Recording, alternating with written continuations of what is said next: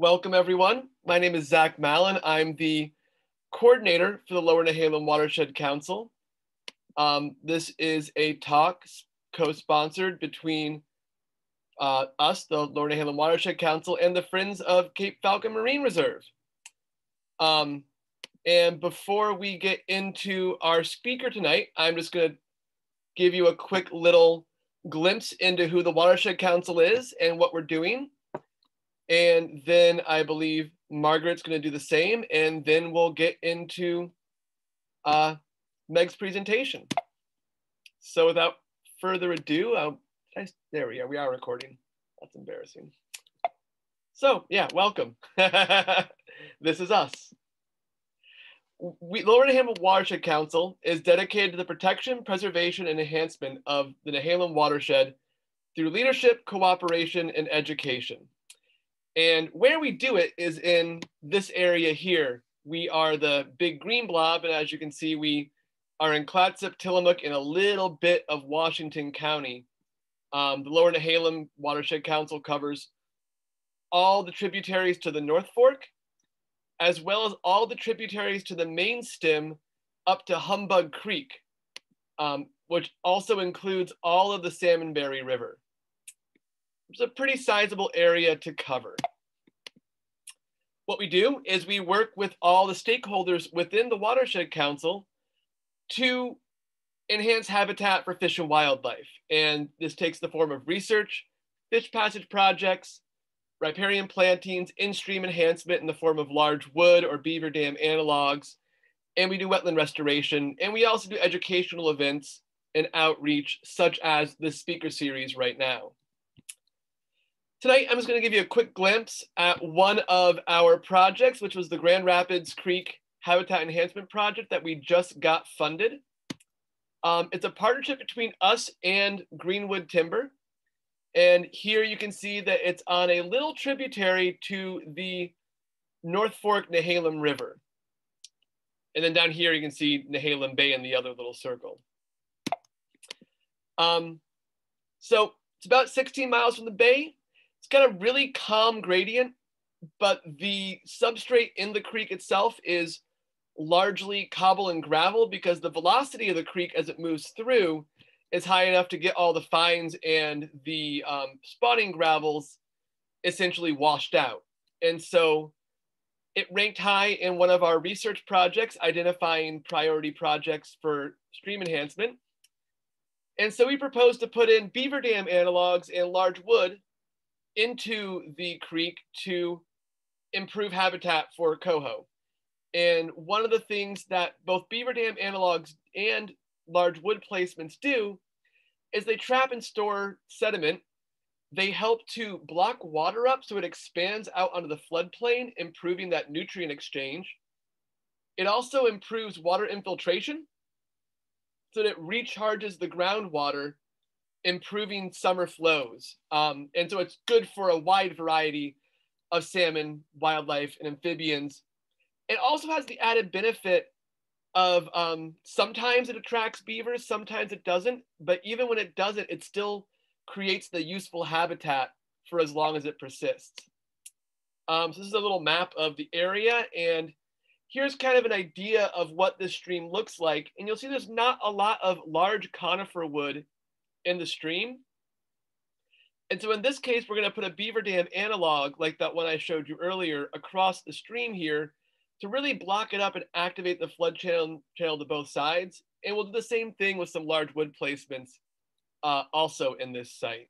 So that's just a little piece of some of the kind of thing we do. Um, this helps to sort gravel as well and improve spawning habitat for salmonids. So um, there you have it. That's another operating beaver dam analog. You can see all the fine sediment here on the upstream end and how much it's actually out and over top of its banks here, even in just, you know, this pretty moderate, uh, you know, winter flow. It wasn't during a rainstorm or anything. So it's kind of neat to see how much floodplain interaction you can get out of a simple structure of woven branches and, and posts. Um, and coho really like these ponds because they're nice and cool in the summer for them to to hide in. Um, we have board meetings. They are uh, on even uh, months of the year on the second Thursday. Everyone's welcome to join us. They happen at Friday, um, Thursdays at 5 p.m. Um, the Zoom links are often are always posted and shared in our emails. You can email me to get added to our list. We are developing a cold water refugia temperature monitoring program. We are probably going to need some volunteers to help out with that. And May 13th, we have Dan Donato talking about revisiting the Labor Day wildfires of 2020, where they really unprecedented. And Dan Donato's a uh, fire ecologist, so it'll be a very interesting talk. Um, so without, that's the end of my bit. Um, Margaret. Thanks so much, Zach. Um, I just wanted to thank uh, everyone on the Watershed Council and Zach for um, letting us from Friends of Cape Falcon Marine Reserve co-host your speaker series tonight. I'm very excited about our speaker and topic. Um, so I just wanted to quickly introduce everyone to Friends of Cape Falcon Marine Reserve if you're not familiar. Um, I am the program coordinator and our organization works to create awareness and understanding of all of Oregon's marine reserves, but in particular, Cape Falcon Marine Reserve, which is the northern northernmost of five marine reserve sites in our state that are managed by Oregon Department of Fish and Wildlife. And these areas have been designated for conservation of biodiversity and scientific research. So Cape Falcon is the northernmost site, um, and it's located between uh, Manzanita and Cannon Beach, or really more, more specifically Arch Cape. And um, it's adjacent to Oswald West State Park. So that had Oswald West State Park has 2,500 acres of conserved forest land. So having that conserved area next to the marine reserve really kind of boosts the resilience and efficacy of both because those land sea processes are able to happen. It creates wildlife corridors and all that good stuff. Um, and then also it's it's right by the um, proposed rainforest reserve um, that North Coast Land Conservancy is working on. So when that comes into effect, um, that'll be contiguous with Oswald West State Park, and it'll it'll create a really huge area um, of conservation on land and sea. Which um, so that'll add another 5,000 acres. So that's really exciting.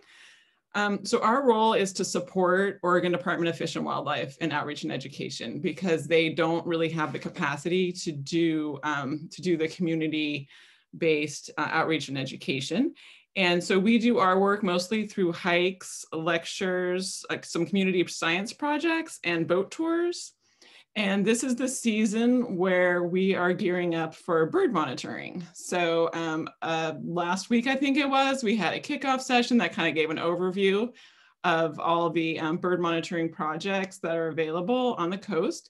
And that is available on our YouTube channel. And um, we uh, also do an intertidal BioBlitz. And so that is in July, and that's another um, community science project that we do. And then in the next coming next few months, those uh, bird monitoring projects are going to be rolling out. So if you're interested in snowy plover monitoring or black oyster catchers or cormorant nest monitoring, visit us on Facebook or our webpage or send me an email at capefalconmr at gmail.com. So without any further ado, I'd like to introduce Meg Reed. Um, so Meg Reed is a coastal shores specialist uh, with the Oregon Coastal Management Program. And I've worked with her a little bit on king tides and really enjoyed that. And I'm excited to hear about this other, but not entirely unrelated topic. so um, Meg will be talking about the expected impacts of sea level rise. And um, she has been working for uh, DLCD, which, uh, sorry, Department of Land Conservation and Development, which is the home of the Oregon Coastal Management Program, I think for six years if memory serves. Um, yeah. And she provides technical assistance and policy guidance to cities, counties, and state agencies related to land use planning and hazard mitigation for coastal shore processes and geologic hazards. And Meg received her Bachelor's of Science um, from Roger Williams University in Marine Biology and Environmental Science and has a Master's of Science from the University of New Hampshire on the integration of science, policy, and management of coastal resources. So um, I can't imagine anyone better to tell us about this. so thank you so much for being here tonight, Meg. And um, I can't wait to hear your talk. So go for it. Awesome. Thank you, Margaret. Um, Can I make um, one bookkeeping point? Yes. Um, can folks please uh, keep questions for the end? Uh, you can put any questions you have right into the chat. And then when we get to the end of the presentation, I will read them off or, or, or you know, we can, you can, have you can speak in turn, but that way we don't interrupt Meg as she gets through her, her presentation. Thank Great, you. thank you. Thanks, Zach. And thank you, Margaret. And yes, good evening. Thanks everyone for um, being here and for hosting me. I'm excited to be here to talk with you all. Um, so I'm going to talk a little bit about planning for our changing coastal areas. Um, and uh, I'll talk a little bit more about who we are in a minute, but this photo that you see here, um, maybe some of you might recognize it's um, a beach access point in Bandon, Oregon on the south coast. Um, and this is during a king tides. Um, so when the, you know, the, the tides are higher than normal. Um, and so you can see the woody debris and the logs kind of right into the beach access point. And so a lot of what I'll be talking tonight is about total water levels and high water levels and how that might be impacting us um, now and into the future and how we can sort of adapt to that.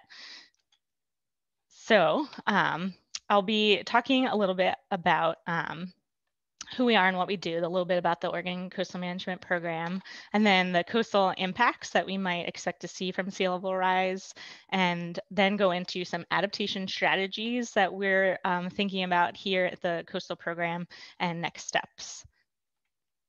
So a little bit about our program. Um, the Oregon Coastal Management Program is a federally approved coastal zone management program, which is um, through the, um, it's a voluntary program through the Coastal Zone Management Act of 1972. That's when it was established.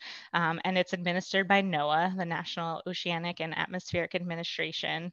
Um, and it's, like I said, it's a voluntary program and it allows for a partnership between the federal government and coastal states and territories.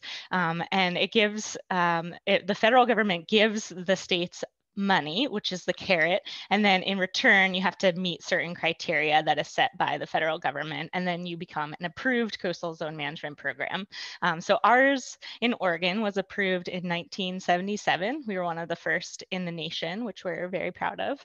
Um, and now all almost all of our coastal states and territories participate in the program except for Alaska, but everyone else participates. Um, and our program here in Oregon is somewhat unique to other programs.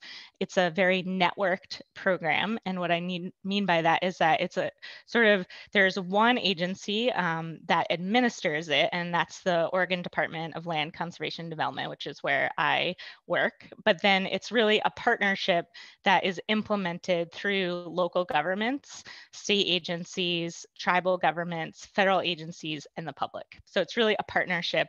Um, all of those entities that work within and benefit from the coastal zone all have a piece of the coastal zone management program. And so just to kind of give you a little bit of the geography of what that looks like, um, our coastal zone, our approved coastal zone is watershed based. And so it actually goes from the crest of the coast range all the way out to the edge of the territorial sea, which is three nautical miles. So it's a really large coastal zo zone. And um, that is also somewhat unique to Oregon. Uh, in California, for example, their coastal zone is only the coastal strip. Um, so it's just a pretty narrow strip of land, whereas ours is watershed based space. So it gives us a little bit more room to um, be more holistic in our approach to coastal management. And so it includes all seven coastal counties and all 32 coastal cities that you see listed here. Um, and it's a total of 700 or 7,800 square miles of land and 1,100 square miles of water. And then in addition to the coastal program, um, we are also the uh, DLCD is also the state's land use planning agency. Um, so that's not just for the coast, but statewide. Um, we're the organization that administers Oregon's statewide planning system, which is also unique um, with throughout the country. Um, and uh, we have sort of a it's a sort of a similar setup to the the coastal management program. Um, we have the basis of the the statewide land use planning system is 19 planning goals that you see listed here on the left-hand side um, that cover a lot of different things, which every single city and county throughout the state has to comply with. Um, and the last four of those planning goals are coastal related. They're specifically um, focused on the coastal resources. So goal 16 is estuarine resources, goal 17 is for coastal shorelands, goal 18 is on beaches and dunes, and goal 19 is ocean resources. Um, and so in addition to all of the, the well, the 14 goals, because goal 15 is just specific to the Willamette River Greenway, um, all coastal cities and counties have to comply with those extra four goals. Um, and so similarly to the coastal program being a networked program that is implemented through many different entities, so is our land use program. Um, so the Land Conservation and Development Commission, or LCDC, is sort of the overarching body that sets our broad-based policy. So they're the ones who sort of set the goals back in the 70s when they were first adopted, and then all the subsequent changes from there. Um, and then the statewide planning goals are really the basis of the program that are actually implemented through city and county comp comprehensive plans, and then through state agency programs and authorities. So for example, the Oregon Department of Fish and Wildlife has to comply with all of those, Department of State Lands, Department of Environmental Quality, um, Department of Geology and Mineral Industries, and so on. So they're all partners in this, both of both our coastal program in the coastal zone and the statewide, statewide land use planning program. And the reason why I spend a lot of time talking about this in this somewhat complicated structure that we have um, is because this is really how we're going to address climate change. Um, so right now, those goals, um, you know, like I said, they were written in the 70s and some of them have been updated since then, um, but none of them specifically address climate change. Um, they give somewhat of a flexibility to incorporate it if someone were to voluntarily go down that path, but it doesn't require it. Um, and so that is something that we are, are looking at as an agency um, to potentially update, but it also is provides the framework in which we work now. And so that's kind of what I'll be talking about as we move forward is how do we address sea rise through this planning framework. So I'll talk a little bit now about climate initiatives at DLC, Department of Land Conservation and Development. Um, so I said, like I said, it's state, it's a statewide program, and um, there's sort of a, a, few major buckets that you can think about um, for addressing climate change. There's mitigation, which is trying to reduce our greenhouse gas emissions. There's sequestration, which is trying to capture carbon that is in the air and put it into usually something like uh, vegetation. And then there's adaptation, which is, you know, we're already somewhat committed to a certain level of climate change because of our emissions that have already occurred. And so that we're, we have to prepare for those impacts um, that are already occurring and will continue to occur in the future. So that's the part that I'm really going to focus on tonight is that adaptation piece, because that's really where my job sits um, and, and where I'll be talking the most about. but I also just wanted to mention sort of on the rings of this graphic. Um, in case you um, didn't hear about it or as a reminder, um, Governor Kate Brown's exist, issued an executive order in April of 2020 um, to for all state agencies to address climate change to the extent feasible within their existing authorities. Um, so this, a lot of what we're doing and what's listed here, we are sort of already doing, but also we're enhancing because of this executive order. And then um, also on that outer ring, you can see the statewide land use planning goals and program review. So like I was saying, none of the planning goals address climate change directly right now, but it is something that we might, uh, that we are going to be doing, but what form that takes is still yet to be determined. So it could be a goal 20, that's climate change, or it could be um, all of the goals get individually updated because really climate change is integrated into everything. And so that would be probably the most holistic approach, but it would also be very time consuming and would take a really long time to do that. Um, so again, like I said, I'm going to focus on adaptation and just again to remind you what those differences are. Mitigation is action to reduce emissions that cause climate change. Adaptation is action to manage the risks of climate change. Um, and so you can see some activities there in the this graphic. And some there are some activities in which you can um, kind of do both things, um, but then there are um, activities that sort of address one or the other. Um, so for example, in adaptation, you could do things like flood protection or infrastructure upgrades. So I'm not going to spend a lot of time on the science behind sea level rise because I'm going to assume that most people probably know a little bit about that by now. Um, but I will focus a little bit on sea level rise specifically in Oregon because there are some factors that influence our sea level locally. Um, so we haven't really had a lot of sea level rise to date um, because of some factors that I'll talk about, um, but it is starting to speed up. So we are going to start seeing more and more impacts and um, sea level rise is an exponential curve. So it starts out a little slower, but it ramps up over time. Um, so for example, um, I took some data from the Garibaldi tide station, um, which is closest one to your area. Um, and this shows tidal uh, sea level rise forecast from 2016 out to 2050. Um, and it's a range, but the darker line in the middle shows the most likely scenario. Um, and so with sea level rise data, you know, we are working with an uncertainty because of those emissions factors. We are, we've already emitted certain amount of emissions that are causing climate change, but we don't know what our future emissions are going to be. That's really dependent on what we do as a society uh, worldwide, you know, what our, our factors are, and then the feedback loops that that contributes to with um, the ice sheets melting and um, permafrost thawing and so on and so forth. Um, so those that's where the uncertainty comes from. Um, so you can see for Garibaldi, it ranges from about five inches up to 20 inches by the um, year 2050, which is a pretty big range. Um, but the most likely is 15 inches, which again is a fairly pretty big number. Um, so that's kind of what we expect along the entire Oregon coast. Um, on the southern Oregon coast and the northern Oregon coast, we expect a little bit less um, because of some local tectonics, but the central coast is probably going to see the highest levels of sea level rise um, in, in that 15 to 20 inch range. Um, so again, those factors that influence sea level locally here in Oregon, um, a lot has to do with our um, seasonal kinds of variations in weather patterns. So for example, El Ninos, um, that's they typically happen in the wintertime and can cause elevated water levels, higher wave energy, and the souther, southerly shift in wave directions. Um, so we just see higher water levels during those El Nino winters. And then with a warming climate, we can expect that there will be more El Nino winters. So that means higher water levels more frequently in the winter. Um, we also experience vertical land motion. Um, so we are on the Cascadia subduction zone and we've actually been uplifting for a while now, um, a little bit over time every year. Um, and that's really what's been keeping us from experiencing sea level rise in a more dramatic way to date. Um, but like I said, it's starting to catch up and overtake the vertical land motion. And just as a reminder, when we have a Cascadia earthquake, we will experience uh, severe land subsidence and at the time of the earthquake, and which will drop um, our levels immediately pretty severely in some cases.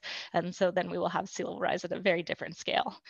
Um, and then we have P Pacific decadal oscillations as well, which again is a seasonal sort of um, on a longer term scale changes the water level and the water pattern.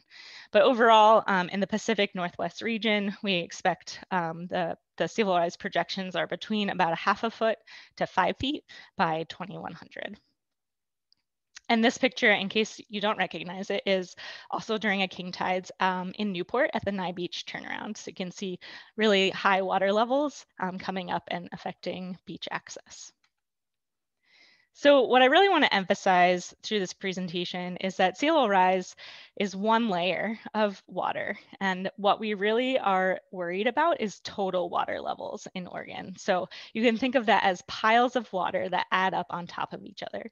So this picture I really like is actually from Hawaii during um, when they were doing some king tides outreach. But I like that they use these um, yoga blocks to kind of pile up the different types of um, water levels that get affected, um, the that affect the total water level. So you can see sea level rise, then some local, um, like the El Nino, ocean eddies, and then coastal storms, which we experience mostly in the wintertime, and then the king tide, so a higher than normal king or higher than normal high tide.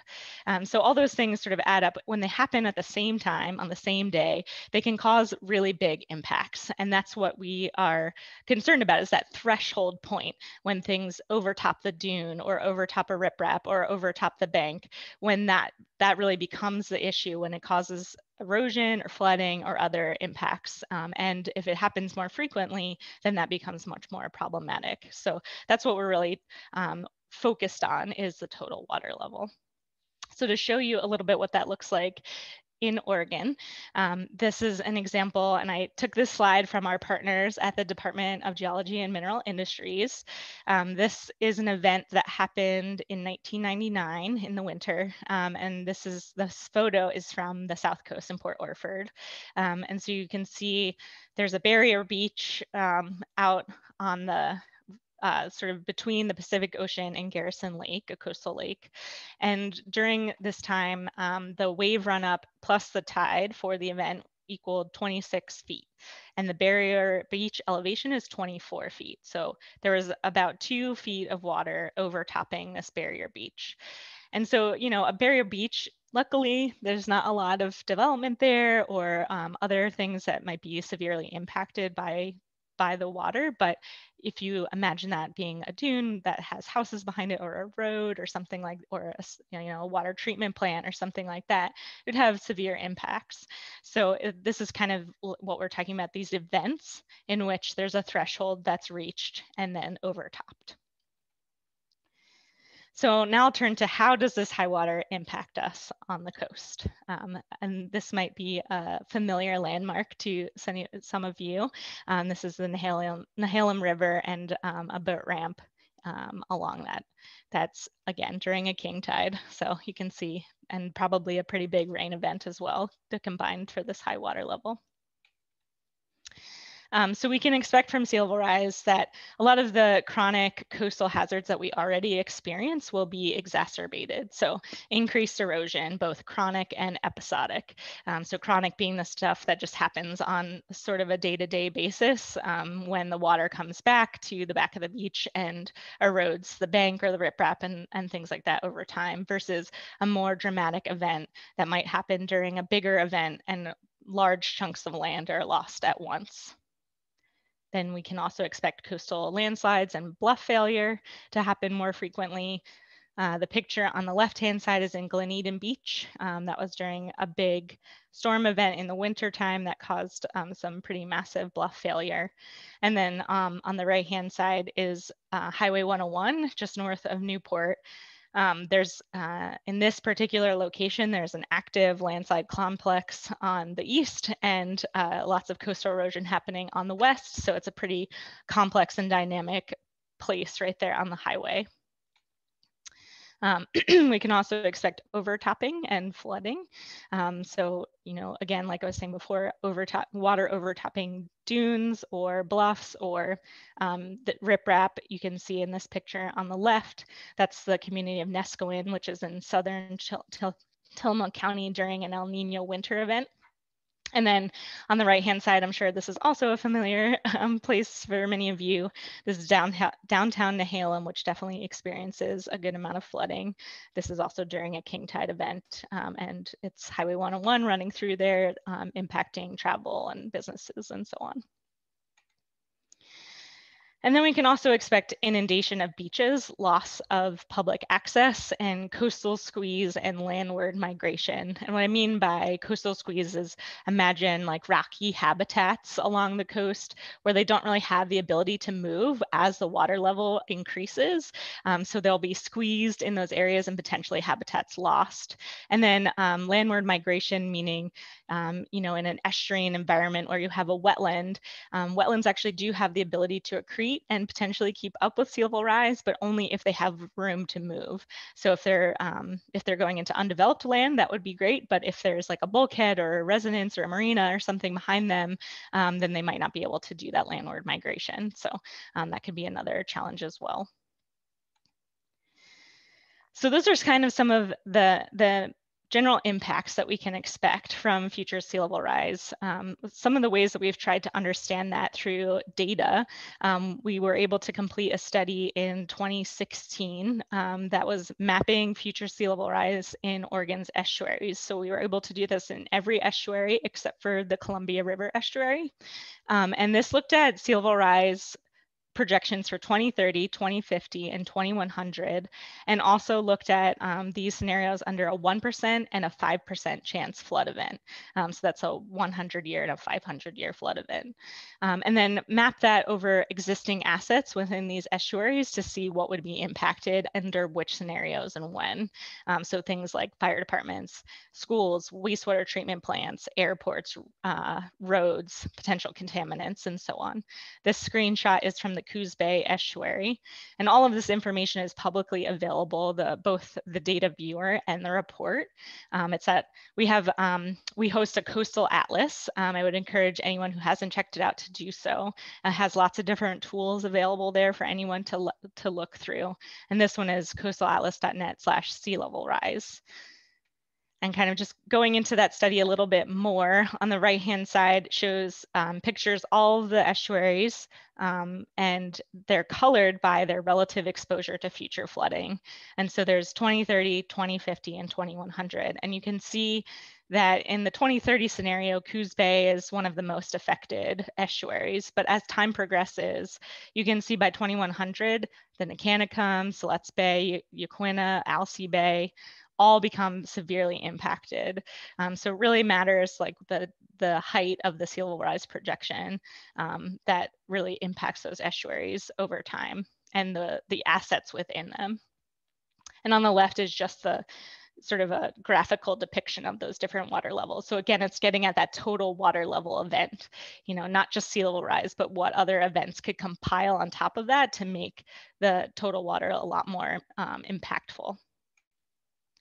And so as an example, um, under these analyses, we found that five municipal water intakes, eight water wastewater treatment plants, 58 potential contaminant sources are exposed to a 1% annual chance flood in 2100. So definitely some assets at risk um, under these different future scenarios.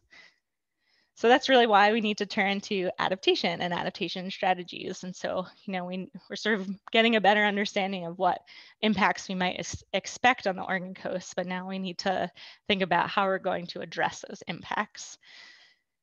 So there's a couple of different kinds of bins that you can put strategies into. And what I'm going to talk about is definitely not exhaustive or comprehensive, but just kind of a couple of things that we're thinking about and, and um, that others throughout the country have been thinking about as well.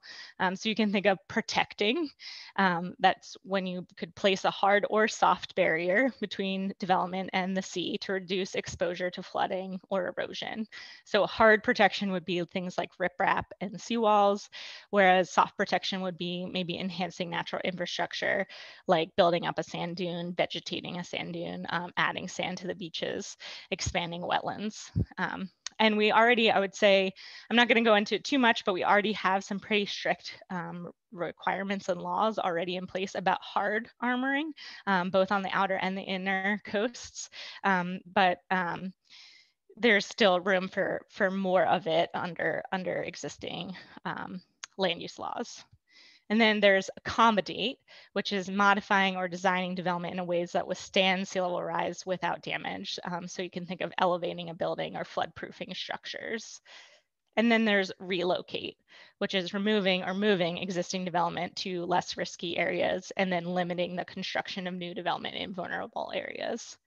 So generally, I think of the protect and to some extent accommodate as short-term solutions. They might work for a while, but at some point they're going to be overtopped. And then relocation is more of a long-term strategy. And this is probably the most difficult one to actually implement. There's a lot that comes with that, and I'll talk a little bit more about that a little bit later. So I'll talk a little bit now that we're we're getting into the adaptation strategies and thinking about what we can do um, throughout our coastal communities, I really want to go back to this role of land use planning, which we kind of started the talk with. Um, land use planning is obviously what we do. We're the state's land use planning agency. And so that's really the viewpoint that we're coming from, but it is a really important role. Um, and so this picture I show because I think it really um, demonstrates the importance of land use planning. So um, like I said, the statewide planning system came into effect in the 70s.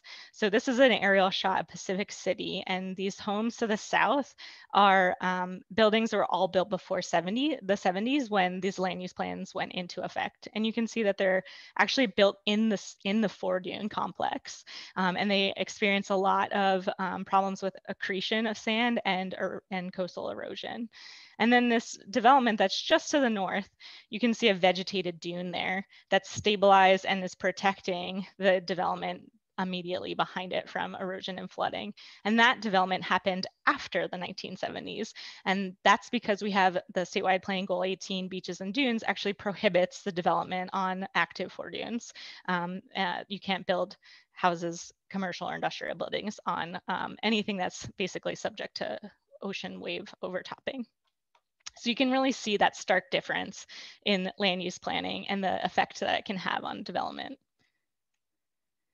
So what we're doing now at the Coastal Program is we are um, developing a sea level rise planning guide that is targeted to coastal planners um, for all of our cities and counties on the coast um, to adapt and, and, and create um, adaptation strategies for rise impacts. And we consider this guide um, the first of an upcoming resilience series. So we're really trying to target um, creating technical expertise and resources and support to then help our local communities update their comprehensive plans and um, land use planning strategies. So we're working on this now and we're hoping to um, send it out to local governments by July of this year. Um, and so we're actively working on it now, which means I can't really give you a ton of details because we haven't ironed everything out yet, but I'll kind of go into some of the high level things that we have been doing. So um, these this little graphic on the lower right hand shows the major topics that we'll be covering in the guide. So the sea level rise science tailored to the Oregon coast, local policy and planning. So how do we use our existing planning structure and framework to adapt to sea level rise? The legal context, because as you might imagine, there is is a lot of legal um, implement, implement, uh, implications for um, doing this kind of stuff. Like um, like there are some things around private property and takings that we have to be really careful of with um, things that are our already in existence. So there's a lot of legal stuff to, to cover. And then we'll go into adaptation and mitigation actions that could be taken. And then how, once they pick those things, how to finance them. What are their financial options? And then of course, education and outreach components, because obviously we can't really do major changes to our planning systems without having public support and buy-in. So it's really important to have public engagement along the way and to give feedback and to give um, uh, really important um, expertise into that process to make sure that that people are, are a part of what their community will look like and continue to look like.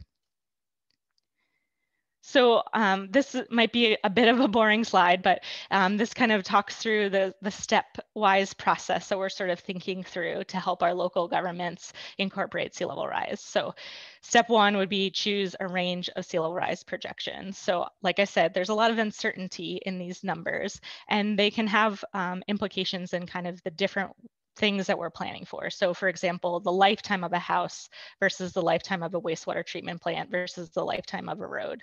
Um, you might use different rise projections for those different aspects of planning.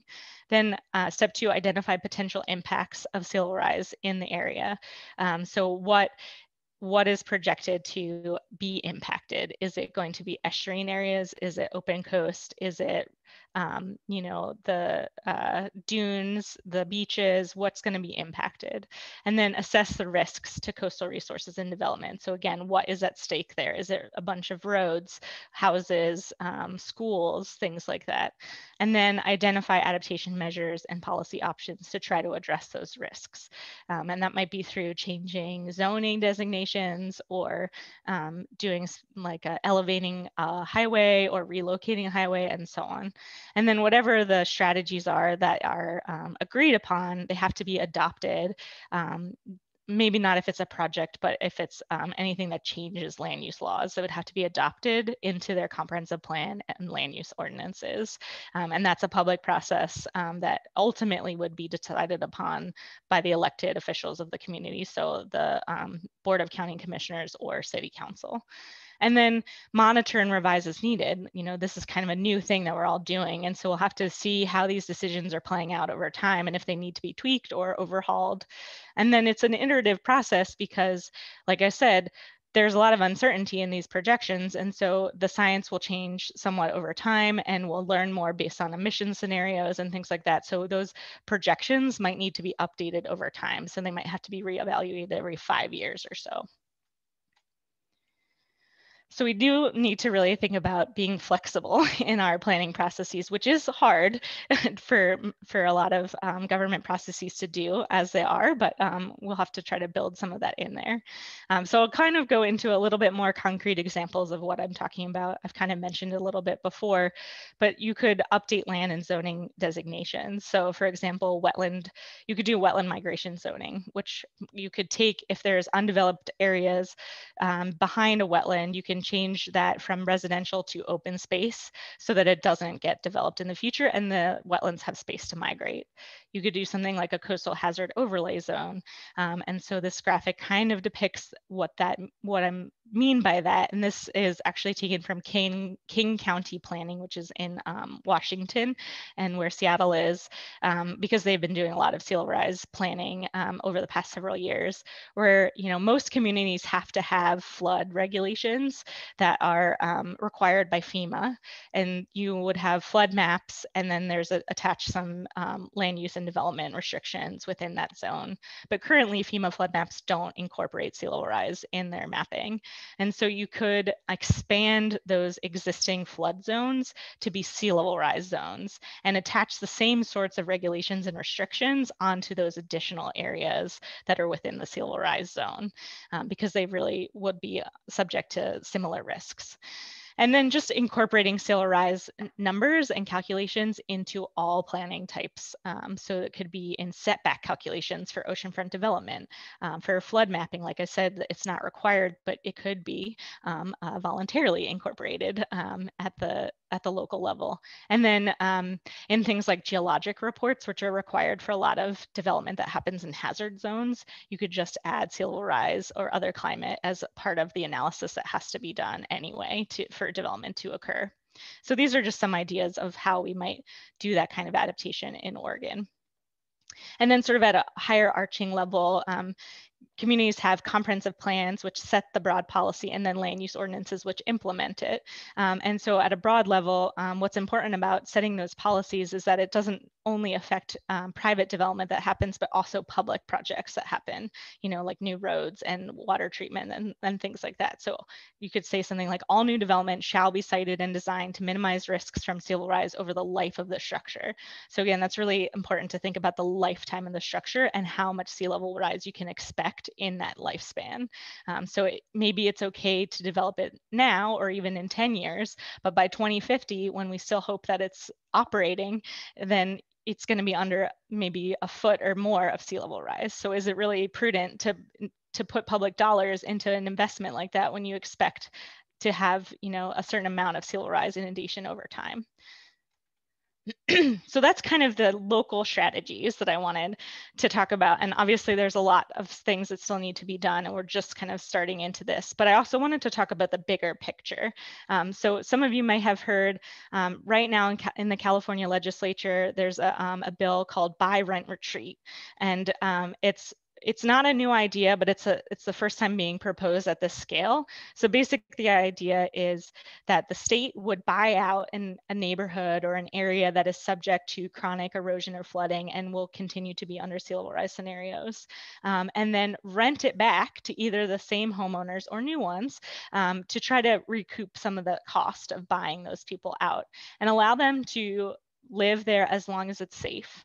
And then when the threshold is reached, which would be agreed upon uh, before anything gets st started, um, then they would have to leave and move, um, and the state would take back that land and um, remove the infrastructure, remove the development, and allow it to, you know, um, naturally get flooded and and eroded over time to give a buffer room um, for the coast. So that's kind of a really cool idea, I think, um, and and hopefully something that gets passed in California and can be used as a model elsewhere.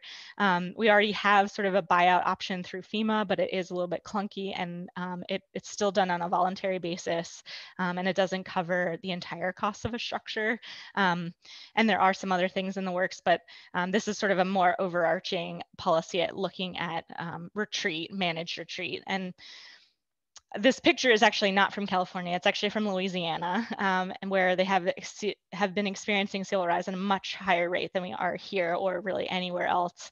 Um, and you can see these homes that are out in the water, and there's still power lines and there's still infrastructure out there that hasn't been removed. And the point that I'm making with this is, you know, managed retreat is a really hard topic, and it's hard for lots of reasons. It's emotional and it's legally challenging. But if you don't do managed retreat, you do unmanaged retreat, and that is a lot worse, in my opinion. Um, so even though it's really difficult, I think that you know we're trying to talk about it here and and try to get some buy-in because I think it, at least it's important to start to plan that because sea level rise is happening and it will continue to happen, and you know we're going to have to deal with this at some point. So I'll just leave, uh, end this talk with this cartoon going back to my point that sea level rise might start slowly, but it gets exponential over time. And right now we have this opportunity in Oregon to be really proactive because we haven't seen a lot of big impacts yet. And we still won't experience it quite the same as other places. So I think in a lot of ways we are lucky, um, but we still have to deal with some pretty big impacts. So it's really important to start this planning as soon as possible. And, and hopefully we are. Um, so thank you so much for, for listening. I hope that um, that you have some good questions and some good discussion, and I'm happy to stay in touch. This is my email, so please um, feel free to reach out. So thank you. Thank you so much. That was fantastic, and it's really neat to. Um, I I like big systems thinking, and like thinking about how we like address the coming challenges like this and it's really neat to see that this process process going on and uh, and, and learn a bit about it. Um, Nadia has a question in the chat, and I don't know if you want to ask it yourself, Nadia, or do you want me to read it out for you? Go ahead and read it, Zach. Oh, cool, great. So the question is, Clatsop County is currently updating our comprehensive plan. Do our planners know that the sea level rise planning guide is coming?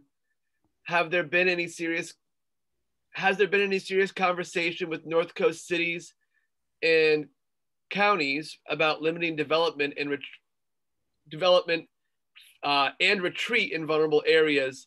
For example, Seaside, Cannon Beach, Falcon Cove, Nehalem. Yeah, that's a good question. Um, this is, uh, excuse me, this is Commissioner Wev from Clatsop County. Nadia, why didn't you pick up the telephone and call me and ask me this question?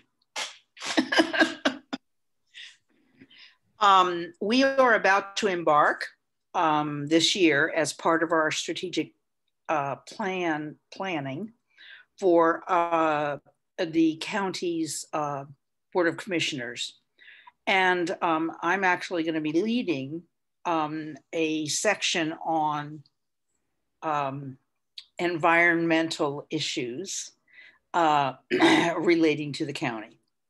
And um, we are going to, this is going to be one of the many climate change issues that we're going to be addressing. Um, we're focusing primarily on water because we know that no matter what happens in the future, we have to have the quantity and quality of water that sustains human beings. Um, and so um, that's the answer from Clatsop County. Yes, thank you. And this incidentally was a terrific, this was a terrific presentation, Meg. Oh, and I really looking forward. Oh, the other issue is that we are, um, we are in, even though there is no goal for climate change, um, uh, we are going, we're redoing our comp plan right now. And we have, the board has instructed uh, the planning staff to make sure that climate change is addressed in every one of our goals. Thank That's you. Yeah, no, thank you. That's that's great to hear. And I, I think you're right. You know, I think a lot of communities are doing it on their own, you know, voluntarily, um, without without it being a requirement. Um, so I, you know, we've definitely seen it. I think the city of Nehalem has also um, done some work in their in their comprehensive plan update to incorporate um, climate change into those policies. I would say it's like people are are going down those paths, um, but what we're trying to do is provide some extra resources to do it um, and give them some more support and technical expertise to because it is you know it's a hard issue it's and it's complicated um, so I think you know that's what we'll continue to do. And um, you know, in the com- in the comprehensive plan updates, I mean, it's such a huge process to do, and most of them have not been updated for a long time. So um, mm-hmm. it's great to see that there's, I think you know, several jurisdictions are kind of going down that path, and we'll continue to. So we'll just continue to try and and help them and to incorporate climate change into those plans. Meg, uh, can I just ask one other question? Of course. Yeah. Um, about, I think, 60% of the coastline. Remember, we are um, one of the few counties I, I, heard actually in America that have um, two separate coastlines.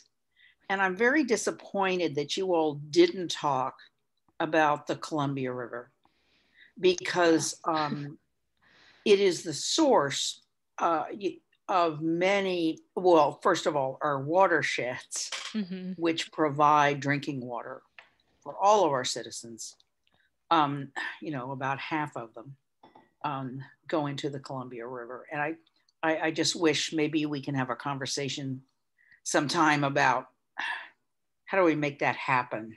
Mm-hmm. Um, because it's enormous. I mean, we have, uh, I just spent a couple of hours tonight with our coastal, our river council watershed, which includes all the communities on the on the north coast, and it's and it's a lot of land, mm-hmm. and it's a lot of land that is that is populated, and when the and where there's a lot of forestry going on. So um, yeah. anyway, uh, but but just tell somebody or or I'll call the governor tomorrow and and and complain about that. Sounds but good. Thank you. this was terrific, Meg. It really was. This was just so informative. Thank you so much.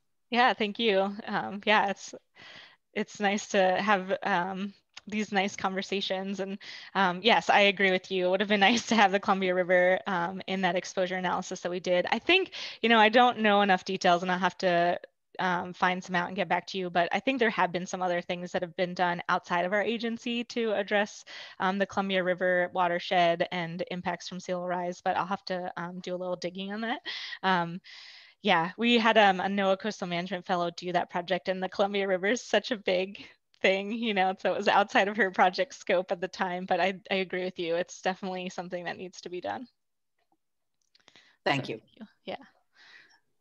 Um, we have another question here in the chat. This one um, from Will Russell asking, are these planning and analyses uh, are incorporated in a subduction zone event scenario given the high likelihood of, of an event, um, parentheses, one in five in 50 years if memory serves. Uh, so are we considering how much a subduction zone event I think is going to release in, in drop elevation? Um, when we're looking at these this planning?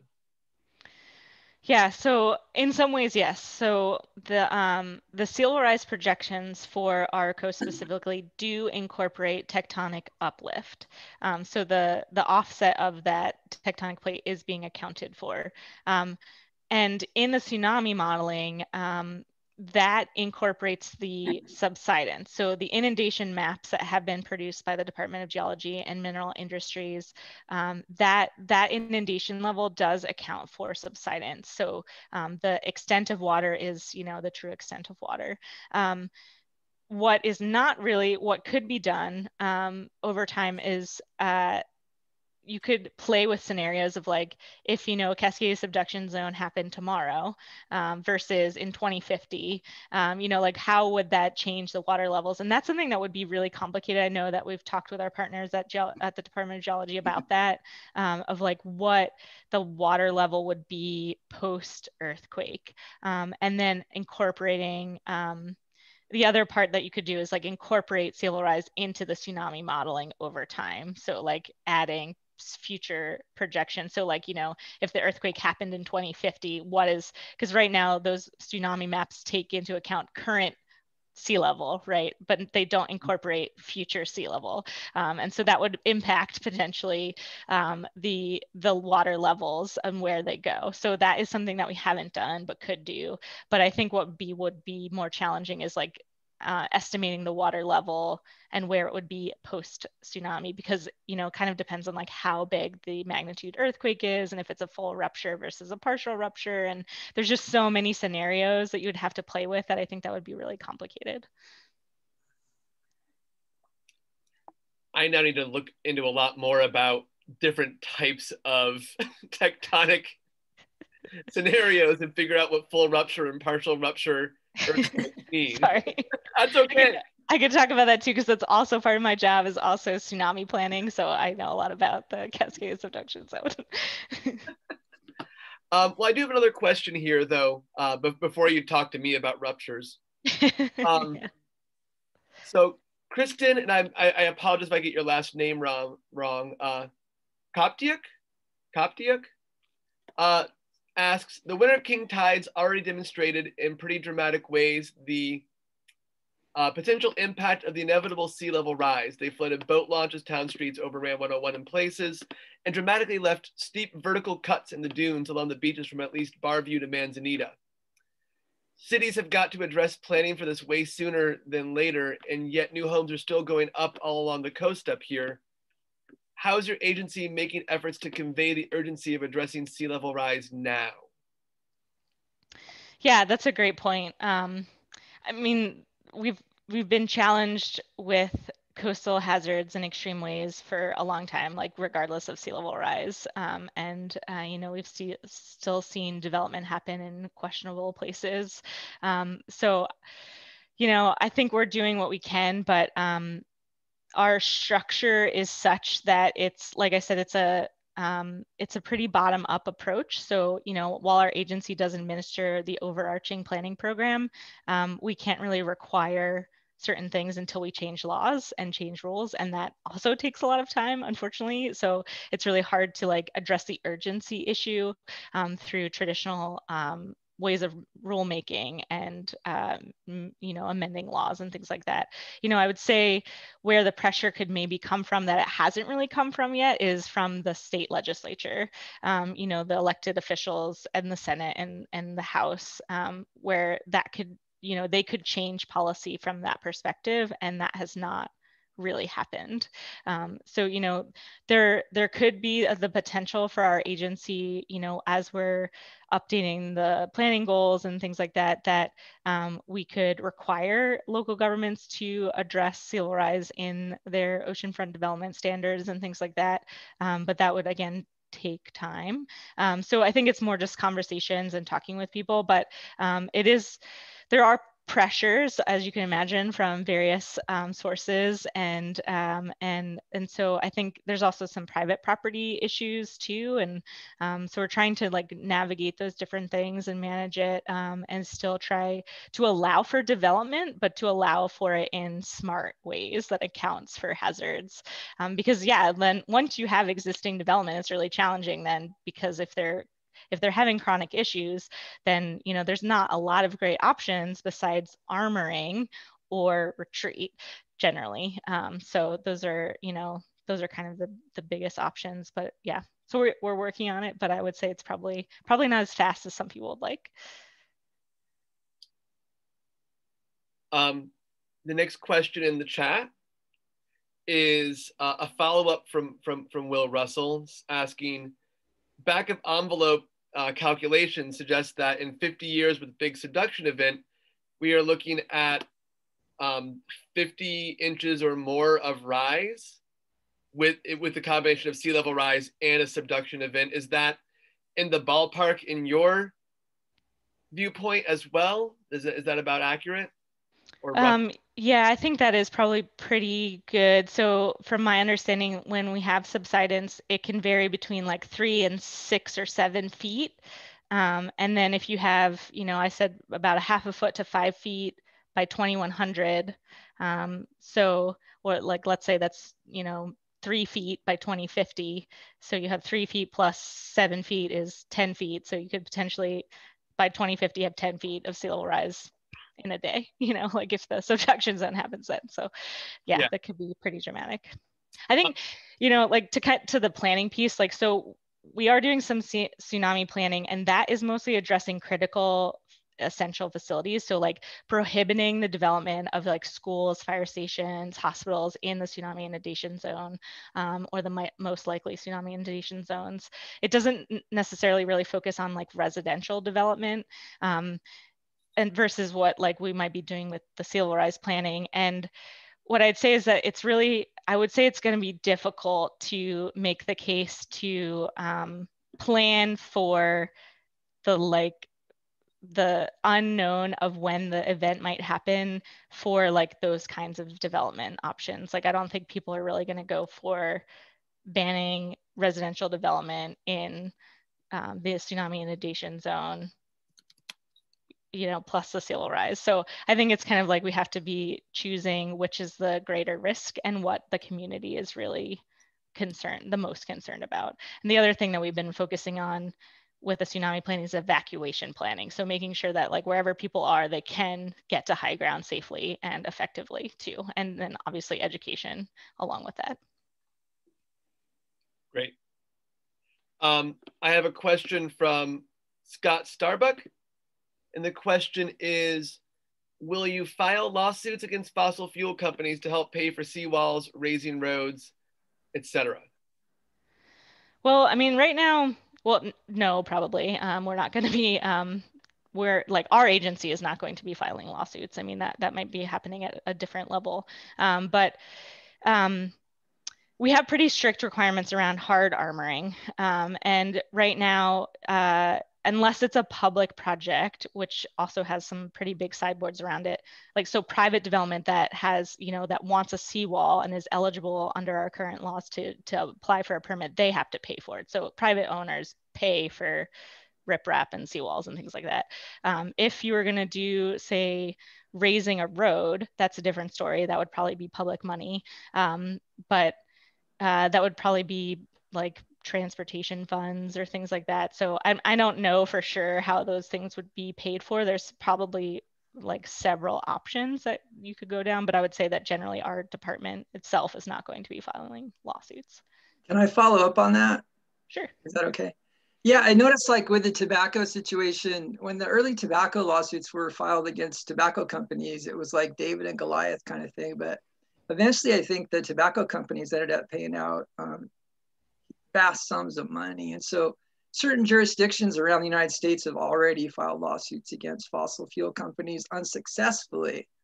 But just like with the Roundup thing, you know, um, sooner or later they might start to win. It would because I'm from Oregon and love Oregon and love the Oregon coast. It would be wonderful for Oregon to get some help for paying for this expensive uh, response to the sea level rise, which was primarily caused by the fossil fuel companies who've known about this since 1959. And uh, if you're interested in that, I have a climate blog called uh, riverseekblogspot.com that has the videos, but I already feel like I'm going on too long about it. Yeah, I mean it's um, it's it's going to be expensive, you know, in in lots of ways, and um, and it's going to be difficult to pay for. So I I don't know like how that's going to play out. Um, I can only speak to the experiences, you know, that I've been a part of and um, and how our agency sort of works. But it, it's possible that there might be some of that, you know, maybe at the at the legislature level or you know at the federal level or something like that that might be looking into those those different aspects. Thank you. Yeah, thank you. Um, I have another question here from Lydia asking if people are allowed to continue to build in areas that are in danger according to sea level rise projections, or even existing issues you talked about, when they are flooded out, will it be public funds that pay for uh, reparations or retreat? Repeat. Um, yeah. Yeah, it's a good question. I don't know that I totally know the answer to that. Um, it probably depends on a few things. Um, you know, they might have insurance, private insurance that might cover some of it. Um, but it is certainly a concern of ours and of Oregon, and particular Oregon Parks and Recreation, um, because they are the one they are the stewards of the public beach.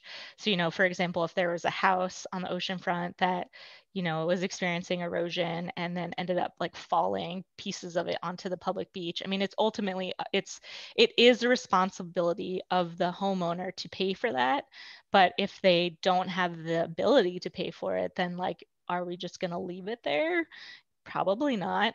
And so like who's going to pay for that? State funds most likely. So i think that's why it's important to have a more proactive discussion to talk about that like the manage retreat idea because the more you can plan ahead for those types of things to happen, the better off hopefully everyone will be.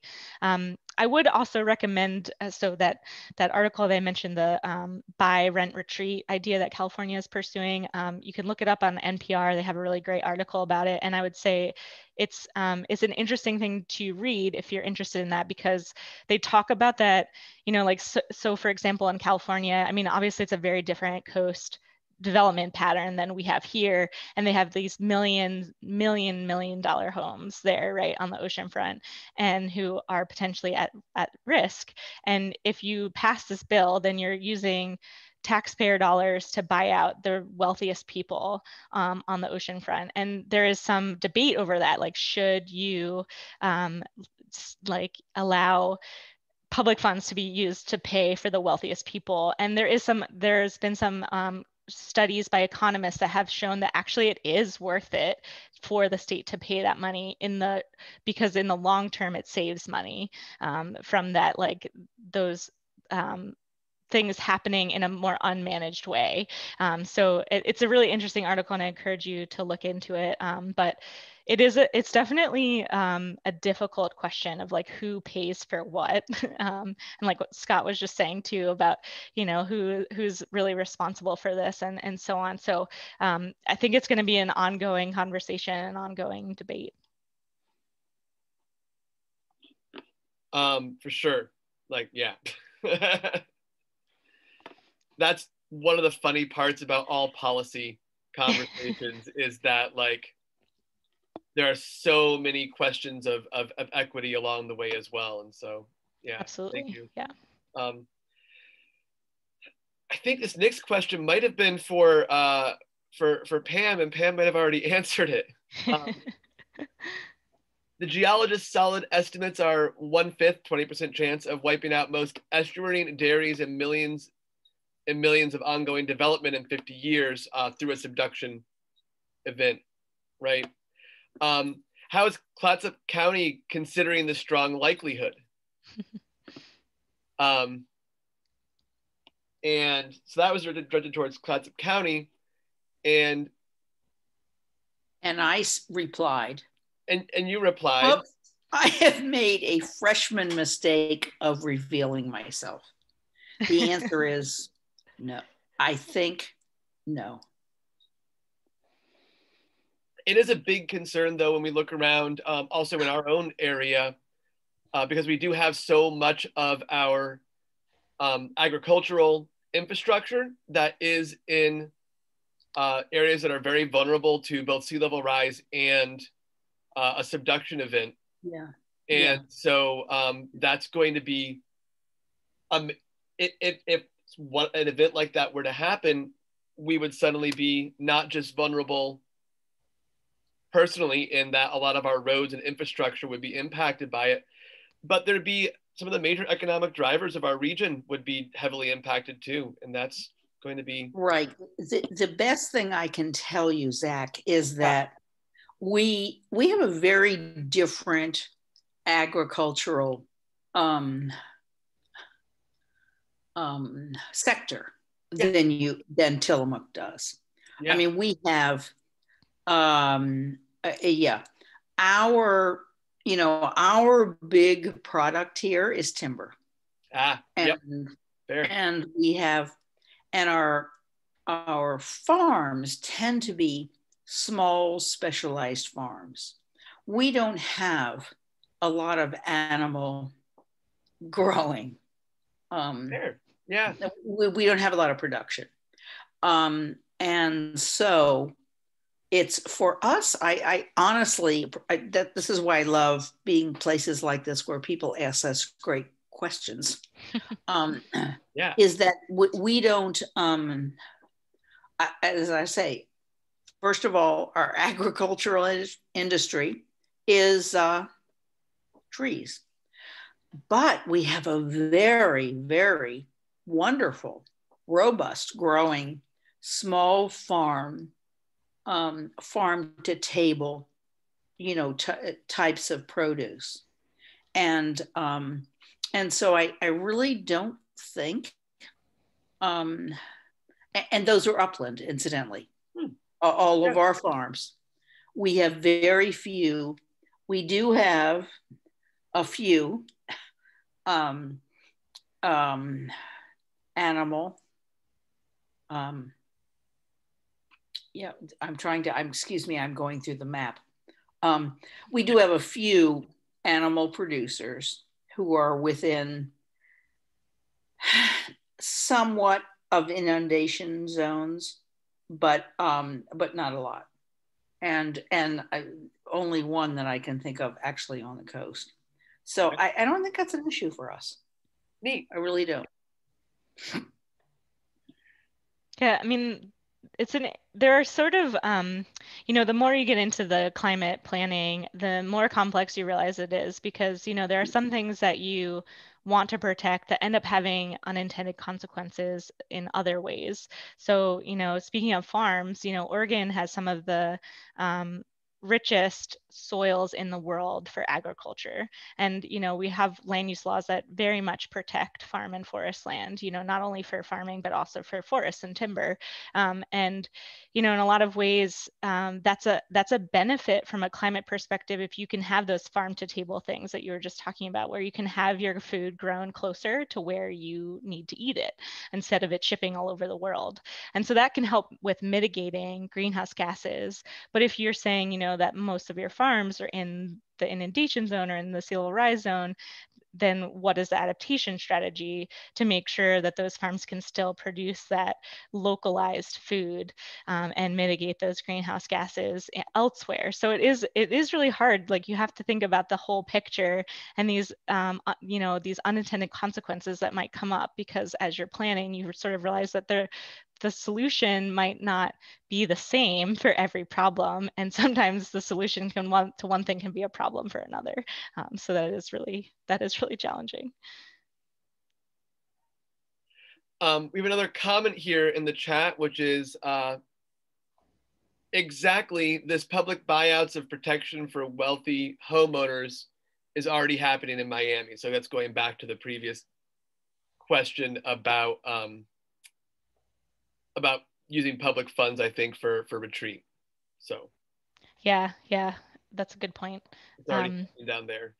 the other thing that we sort of think about too is um, you know like i mentioned the protect option is sort of like a short term option um, so something that we've been thinking about and like trying want to try to avoid anyway is like if you protect things as a short term strategy that can turn into a long term strategy because then you're sort of incentivizing the property value by protecting it in the short term. And so that continues to make you know homes valuable and them being able to sold, be sold and things like that. But if you start to take away that value um, you know one thing that we've been talking about in planning the sea level rise guide is that um, on the legal end of set um, on things that if a community makes like a an intention known very clearly so let's say you know the community decides we are not going to allow any more armoring on the coastline. Um, then you have a little bit of legal protection for new development and new homeowners um, that they could say like, well, you knew going in that we were not going to help you protect. And that can help drive these private market incentives where, you know, maybe that person can't get insurance anymore for their home. And then they maybe on their own will retreat, you know, because the value isn't there anymore. Um, so, you know, it's, it's complicated and it's not a perfect solution, but kind of trying to de-incentivize the risky behavior, which can be helped through the private market to some extent, um, but helped with the public policy. Um, so it's trying to find that right balance um, to, to make those things work. Thank you. Um, any other questions? Feel free to pop them right in the chat if you have any more. I had a question about um, how you know this is this has been a really um, great conversation and lots of issues brought up and really substantive and I'm loving it. Um, but I'm wondering like how does the average person um, influence these policies um, and try to make uh, the, the smarter options happen? I'm wondering if you have any perspective on that. Yeah, that's a really great question. Um, yes, there are ways. Um, you know, for better or worse, um, sometimes when these things come up, the people who are the most vocal tend to be those who um, have, you know, of the homes on the ocean front, for example. Um, and so it is really important that if you feel differently uh, that you should also make your voice known um, so you know going to your um, your commissioners for example um, and talking to them or your city councilors um, or or even your state representatives um, you know about these issues and and make it known that this is important to you that you would like to see the protection of the public beach or you know um, to do sea level rise adaptation planning or things like that to make your viewpoints known does help when when um, you know elected officials are in are in tough situations to make decisions. Um, you know it's important that they hear from the community and truly hear what those perspectives are um, that can be really really helpful. And it doesn't necessarily have to be like at the point of a public hearing. It can be you know email or or phone conversations ahead of time on you know just so that they know that these issues actually are important to their constituents. Because otherwise they don't yeah. It's hard to make those hard decisions if you don't have the public support. So yeah it's really important to to do that Great, thank you. Yeah, thank you.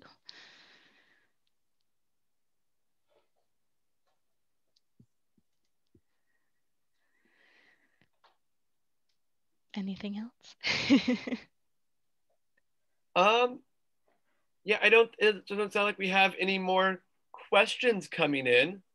So um, thank you so much, Meg, for doing this talk with us. This was really, really uh, yeah, such a, such an important topic to, to hear from and hear about. And, and I'm really glad that Margaret reached out to you. Yeah, thank you. Thanks so much for having me. It was great yeah. to have this conversation. Well, thank you so much. Yeah. Well, thank you everyone for coming. Uh, we hope you'll join us again in May when we have a talk about the history of wildfires on the coast. And um, until next time. Thank you. Good night. Good night.